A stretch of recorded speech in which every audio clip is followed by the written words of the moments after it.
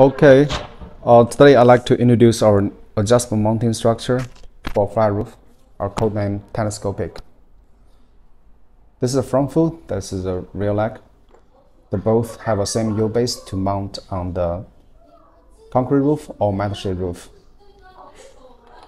This is rotating part to join with our rail, and this is also this part also join with our rail. Well, the feature of this system is that telescopic. The real leg is telescopic.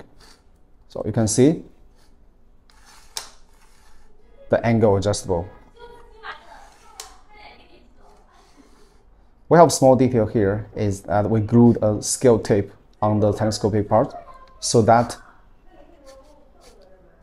customer installers can easily adjust the levelization of each real leg. Choose a fixed number here. Tighten the bolt for the first leg, then all the rest the same. This really solves our uh, installer's pain point on the site.